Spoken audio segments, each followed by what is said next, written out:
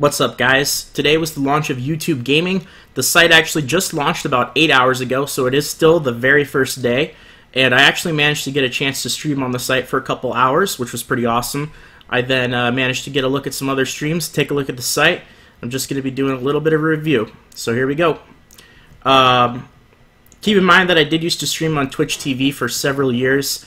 So this review is coming from somebody who has had previous experience streaming and being on a streaming site. So uh, obviously a review is going to be a lot different from somebody who has had absolutely no experience watching live streams or be being on a live streaming site. So this is coming from somebody who has spent a lot of time on Twitch and a lot of time streaming on Twitch. So here's the main page. It's uh, gaming.youtube.com. You have a uh, embedded live stream and uh, similar to Twitch.tv, it's a featured stream.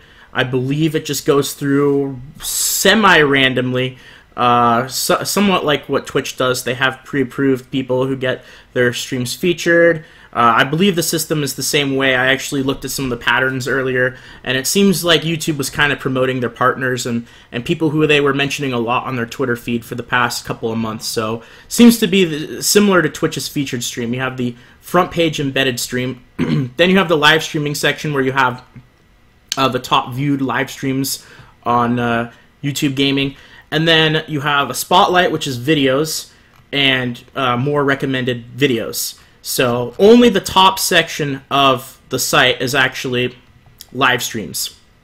Now, of course, you can actually go ahead and click on this, and it'll take you to gaming.youtube.com slash live, which is a subsection of YouTube Gaming, which is all live streams. And then at that point, you lose the embedded stream, and you just have streams uh, by viewer counts, and you also have this uh, featured section here, featured channels, and you had you could search by games and, and other things as well. So this section, gaming.youtube.com slash live, is only live streams, whereas gaming.youtube.com is not just live streams, it's video content as well. So it's the whole YouTube is trying to get all gaming content into one subsection, YouTube gaming. Now that doesn't mean that if you have videos on YouTube that are gaming related, that they're going to be completely pulled off of YouTube and they're going to be only on YouTube gaming.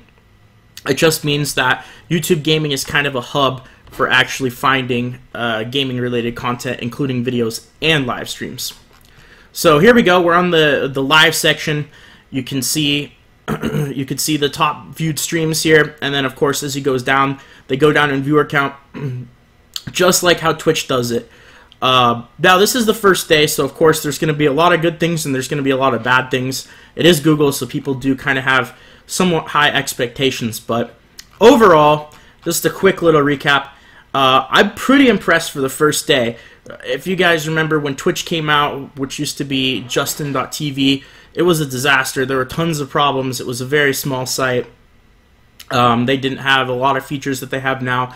So for the first day of YouTube gaming, obviously, again, expectations are quite a bit higher now that Twitch is so well established. But overall, it's it's pretty good. It's definitely a very, very, very good start. Of course, with quite a bit of problems that hopefully will be fixed over the next couple of months. So I have a list here. Uh, we'll start with the good because everyone wants to hear the good before the bad. So the good things are the video quality is very good. Um, if you actually click on a stream, I'm not too sure that I want to actually click on a stream because I don't want to get flagged for showing somebody else's content, so you guys will have to go do it yourselves. But if you click on a stream, the quality is great. Uh, you could choose quality uh, quality options depending on if the broadcaster is streaming at those quality options. It's uh, the video quality is clear, it's smooth. I didn't experience any lag. The actual streaming uh, content, the, the quality of the stream is is really really nice. It is definitely on par with uh, Twitch quality, at least for me anyway. Maybe you disagree a little bit, but it seems to be pretty darn good. Um, the delay is also really good as well. It seems for me the delay has been shorter than delay on Twitch. Uh, some streams it's a little bit uh, a little bit different, but it seems to be a little bit shorter than Twitch delays for for most streams. Uh, maybe around the same on other streams, but the delay is definitely not bad. It's not nearly as bad as the old YouTube live streaming service where the delays could be over a minute long, in some cases even longer than that. So the delay is really really um, it's definitely on par with Twitch for sure if not even a little bit better.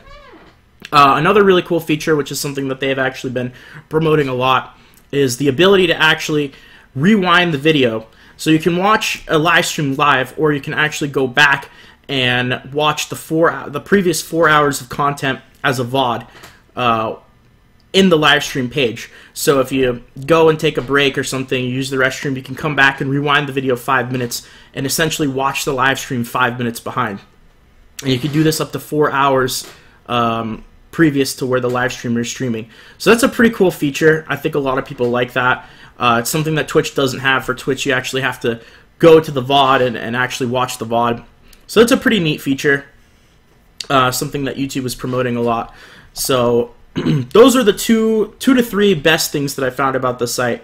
Uh, it's the video quality is good, the ability to rewind is good, the delay is is good, and uh, everything else I think uh, definitely could be improved. Now I'm not saying that everything is horrible and everything else about the service is bad, but I definitely think that there's a lot that could be improved.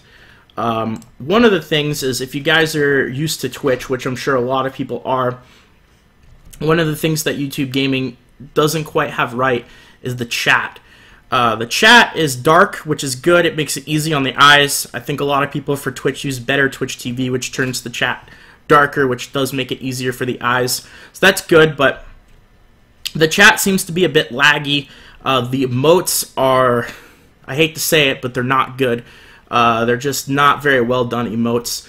Uh, when people use chat for live streams, they really want to feel at home. They want to feel a part of the experience. They want to feel immersed. You know, the immersion is really important. And the subpar emotes that YouTube chat has so far kind of take away from that experience. Uh, that's why people love, you know, Kappa and stuff like that on Twitch, is because it really just kind of makes you feel at one with the whole broadcasting experience. So I think uh, as time goes on, they'll definitely have opportunity to um, make changes to the emotes, make things better, make the chat a little bit more fluid. It was quite laggy today. Uh, you would be looking at the chat and then it would stop, and all of a sudden, two pages later, you know, the chat would start going again. But of course, it is the first day, so these kinds of things are going to happen. But the emotes definitely, definitely need some work. Also, it's really difficult to moderate your chat.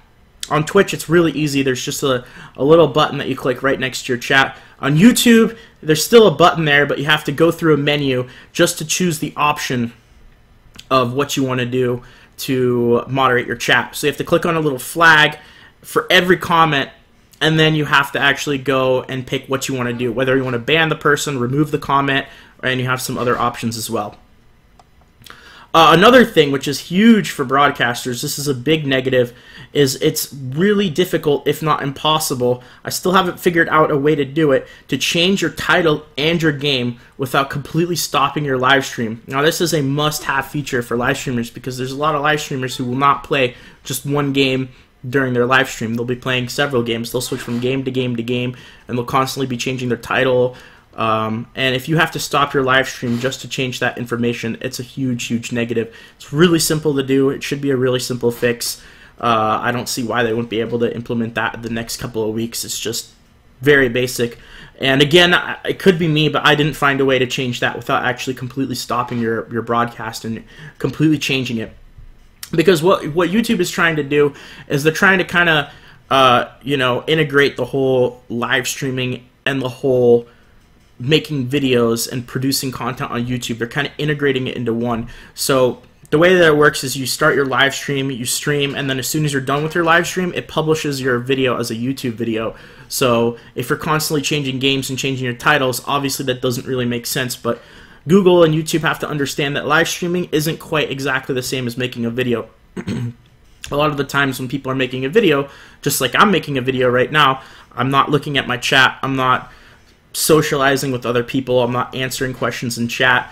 Live streaming is a much more social experience, whereas making videos is a much more direct uh, experience, at least for me anyway. So it's not quite the same, and you kind of have to treat them a bit differently, which is something that I don't think YouTube and Google really uh, has quite gotten the feel of yet. But I'm sure they'll get there eventually.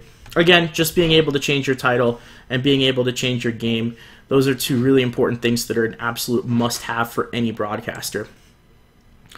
Um, another thing that's kind of a pain is the fact that right now, when you have to start your live stream, you actually have to go from YouTube Gaming all the way back to YouTube, and you're using their old service, YouTube Live, just to turn on your live stream. Again, I'm not sure if this is just something that they haven't updated yet, something that they haven't quite integrated yet into their YouTube gaming site, but it just seems a bit weird that you go from YouTube gaming all the way back to YouTube and then to YouTube their old live streaming service just to turn on your live stream. And again that's where you actually that's where you actually update your title and, and, and do all that stuff. So it seems weird that you don't actually do everything on youtube gaming. You have to go all the way back to another youtube service which is just weird. Uh, other things are the, the lag obviously uh, glitchiness lag uh, those kinds of things you can't really complain too much about because it is the first day. I'm sure it's not Google and YouTube's intention to keep things laggy for very long. It's just the first day of launch. Obviously, there's a lot of you know viewers and a lot of stress and just a lot of things in general. And I'm sure these kinds of problems will be fixed. So you know, it's happening, but these are not huge things that you can really keep your mind on for too long because these things should go away pretty soon. So.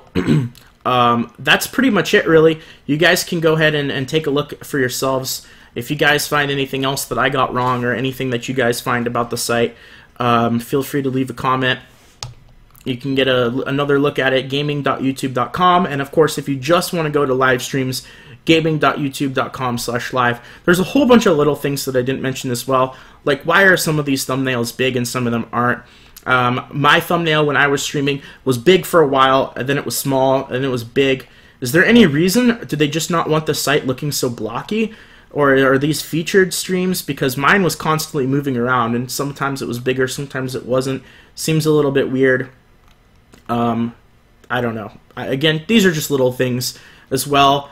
You know, things like who are the featured channels? Are these just people that YouTube is promoting, similar to Twitch?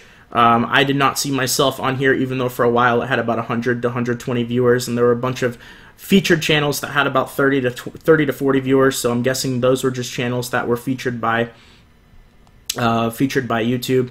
Um, it's unlike Twitch. It's a little bit more the the layout of the the UI of the site is a little bit. I don't want to say not as well done because again we're not used to it.